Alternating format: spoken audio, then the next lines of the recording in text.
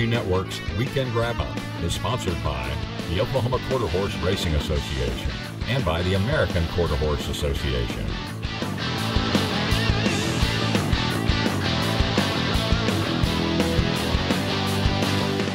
Hello and welcome to our final weekend wrap up of 2016. I'm Jim Byers. The weekend before Christmas featured big races primarily at two tracks, Evangeline Downs and Los Alamitos, so they'll be the focus of our stakes recap. In Opelousas, Louisiana, a multiple stakes card on its closing night Saturday featured the Evangeline Downs Derby and Futurity. The Derby offered a purse of $156,000 plus at 400 yards. It set up as a showdown between two Jose Sanchez trainees, second favorite and number two qualifier Politically Corrupt, versus the favorite and top qualifier Ivan James. They are off in the Evangeline Downs Derby, and Ivan James got away very well down there on the inside. Moving up on the far outside is Jess being the hero. Also advancing in the center is Politically Corrupt. Moving up as well is Bloomer Ride. Ivan James down on the inside in front. Jess being the hero trying to close in. It's Ivan James. Ivan James wins the Evangeline Downs Derby. Ivan James leads virtually every step to hold off Jess being the hero and Bloomer Ride, with Politically Corrupt fourth. Ivan James is turning into a nice replica of his dam, First Dash and Buy. She was a multiple graded winner in the Pelican State with 9 wins and 3 seconds in 12 starts. He improves to 6 wins and 10 starts for the same owner and breeder, Jorge Morales. Jose Sanchez, the winning trainer of this colt by Ivory James. Raul Ramirez, the jockey. The time 19.825 seconds.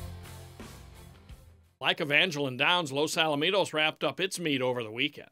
It won't be a long layoff for Los Al as it reopens December 30th. The final stakes race of the 2016 meet was Sunday's Grade 2 Southern California Derby. This 400 yard test offered a $168,500 purse and came down to a tight finish between number 10, Uno Corona Mas, and the 7, Time for Jess, who is inside. Uno Corona Mas gets the decision under Jesus Ayala. It's the first stakes win for Uno Corona Mas, a California bred colt by One Sweet Jess out of the Corona Cartel mare Corona Mas feed. Winning trainer Elena Andrade bred this colt, who is owned by Oscar Andrade and Steve Burns. Top qualifier time for Jess is second, with Dynasty Energy third. Final time 19.813 seconds. One of the most impressive arrivals this fall at Lone Star Park was Eye N Capo, who rose from relative obscurity to top all qualifiers and then win the Grade 2 Dash for Cash Futurity. On Saturday, this $8,500 yearling added another rich futurity to his list as he led every jump in the Evangeline Downs futurity. 400 yards is the distance, with a purse of $306,000 plus. Wearing number 6, Eye N Capo was the overwhelming 3 to 10 favorite. They are off in the Evangeline Downs Futurity. And Platinum FDD down on the inside started sharply. There goes Eye N Capo right in the center. Moving up on the outside, One Sweet Picky. PYC Disco also trying to come on. And now splitting horses is Accountably, who's closing strongly. Eye N Capo in front. Eye N Capo stays undefeated. He gets tested a bit late by Accountably, but Eye N Capo again proves best under Damian Martinez. Now 4 for 4, Eye N Capo was an Oklahoma bred gelding by Capo to Copy out of the Mr. Eye opener mare Satisfying, bred by D and Betty Raper, an earner of nearly $313,000. Eye N Capo races for Ruben Garcia Montemayor and is trained by Adrian Wheatrollen. Accountably finished a length and a half clear of show horse One Sweet Picky. A final note top qualifier Max was scratched from this final. The time 19.962 seconds.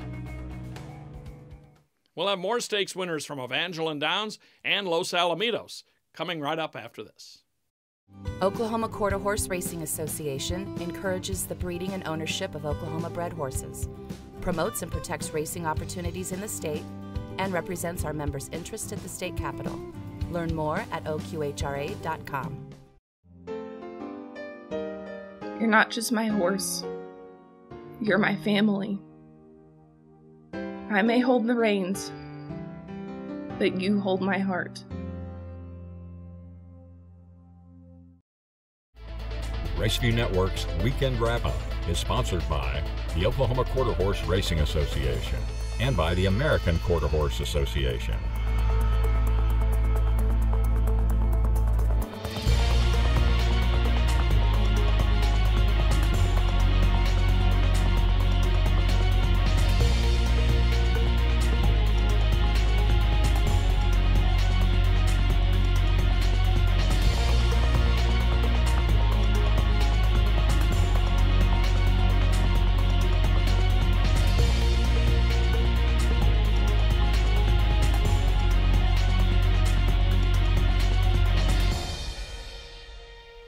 That wraps up our show for today and for 2016. We thank you for being with us all year and look forward to seeing you again in 2017 after our winter break. From all of us at Raceview Network, have a Merry Christmas and Happy Holidays. And we'll see you next time on the Weekend Wrap Up.